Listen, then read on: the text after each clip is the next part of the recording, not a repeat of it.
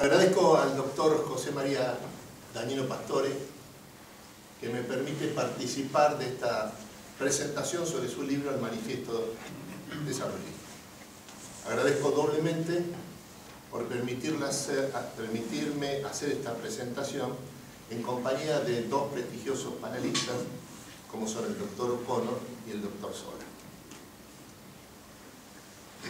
Las oportunidades que ofrece el mundo en el siglo XXI son extraordinarias y siguen apareciendo en tropel, dice Danilo Pastor. Debido al empuje avasallante de la ciencia y la tecnología, y este mundo en expansión le ofrece a la Argentina un lugar destacado en esta etapa de ascenso histórico de la humanidad. Los datos son los siguientes.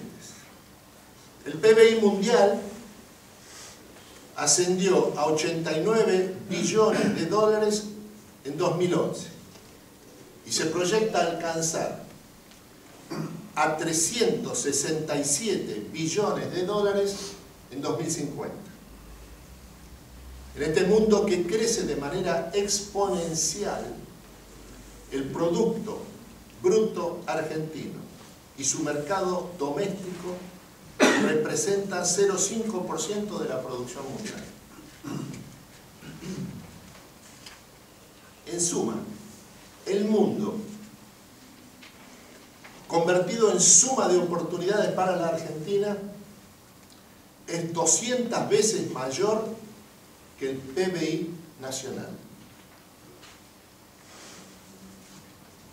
Frente a esta situación, la premisa de Daniel Pastore es el imperativo de la integración nacional de la Argentina, tanto hacia adentro como hacia afuera. No hay más países aislados, dice Daniel Pastore. Solo hay en esta época países en el mundo. La integración es sinónimo de desarrollo, que es el crecimiento que se produce a través de cambios estructurales. Y este recibe su impulso de la inserción internacional. Esta es la ecuación del desarrollo en nuestra época, en ese orden, por necesidad. Esta secuencia de integración, desarrollo, inserción internacional, es la que torna posible la integración hacia adentro, ante todo para resolver el desafío de la pobreza y la marginalidad. Para insertarse internacionalmente, la Argentina necesita adecuar su estructura productiva,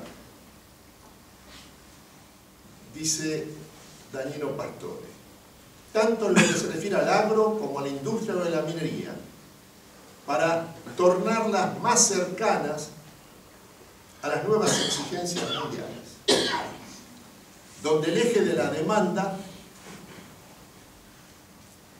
global están situados hoy en los países emergentes y en primer lugar en Asia-Pacífico y primordialmente en China. Y para eso hay que aumentar la inversión reproductiva y multiplicar el stock de capital. En este punto, Danilo Pastore se formula la siguiente pregunta. ¿Por qué el desarrollismo ahora? Si hay una disciplina alejada de todo criterio atemporal, es la economía. La respuesta que da, estimo que puede formularse en estos términos. La Argentina enfrenta este año 2015 a una situación parecida a 1955. Termina un ciclo político y comienza otro. En un contexto nacional y mundial completamente distinto al de una década atrás.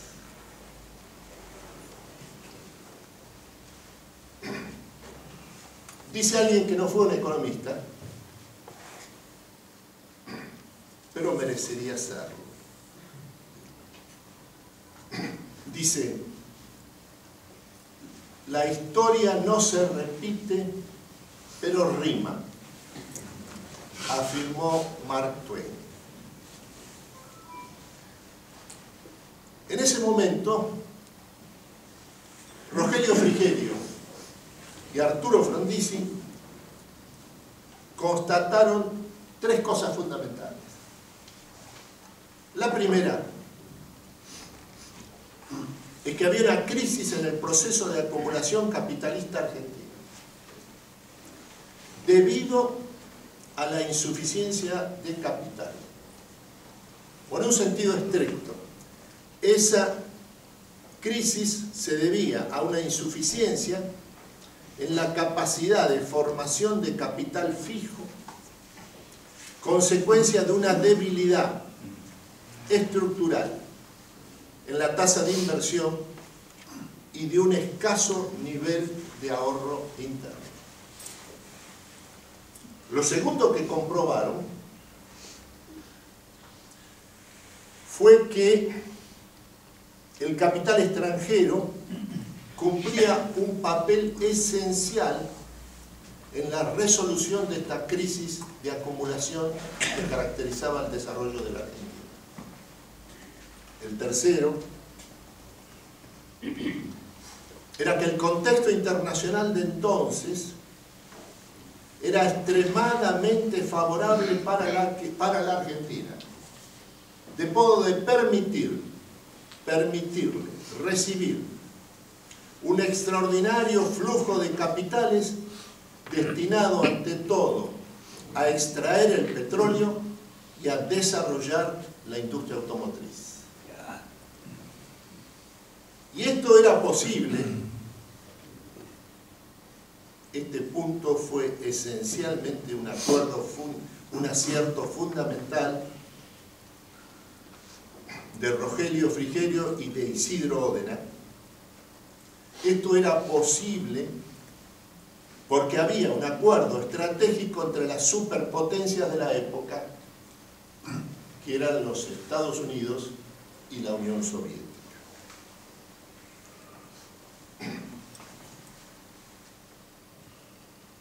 En ese momento,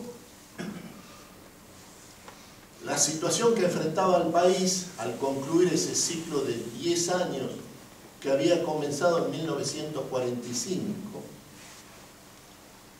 En lo que se refiere al sector externo de la economía, era el siguiente, según señaló, señala Mario Morando, que estimo que es el principal estudioso de la vida y del pensamiento de Rogelio Frigerio.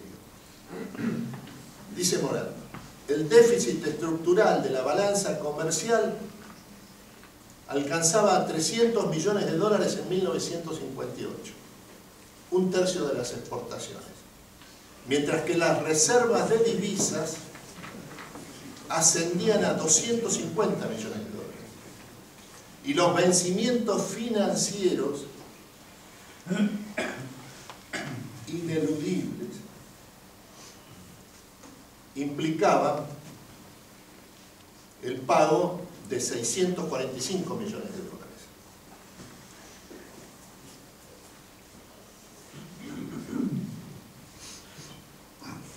El resultado de este diagnóstico fue que en cuatro años,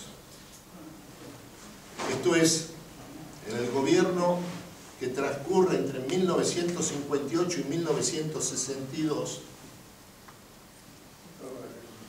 la tasa de inversión aumentó 5 puntos. pasó de 16.2% del Producto Bruto Interno a 21.7% del PBI. Se logró resolver la crisis petrolera, que era el núcleo de la crisis del sector externo, y se recuperó el autoabastecimiento energético. Todo esto mientras la Argentina obtenía un espacio legitimado en el mundo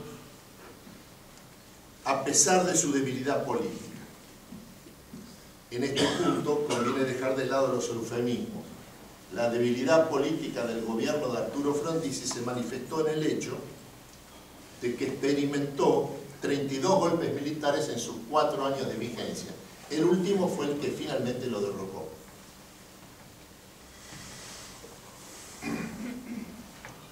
Lo significó el autoabastecimiento petrolero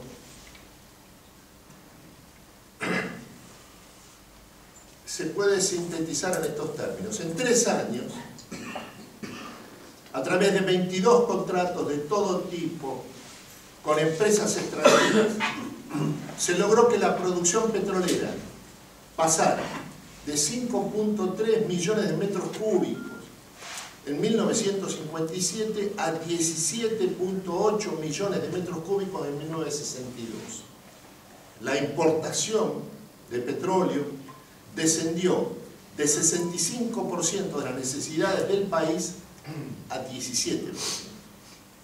Y no se pudo llegar a cero por la naturaleza de los crudos locales, la falta de una planta moderna de lubricantes y el aumento inesperado del consumo que se produjo a partir de 1961. Además, precisa Morando, la producción de gas difundió su uso en todo el país, por primera vez en la historia argentina. Por eso, es que este manifiesto desarrollista de Danielo Pastore no es solo un diagnóstico, sino que, como su nombre lo indica, es ante todo un llamado a la acción. Porque en materia de cambio estructural, no se trata de tener razón, sino de transformar las estructuras de la Argentina y tornarlas acorde con el ritmo vertiginoso de la época. Es en estas condiciones que este libro, El Manifiesto Desarrollista de Daniel Pastore, tiene una profunda actualidad en el sentido más estricto político del término. Muchas gracias.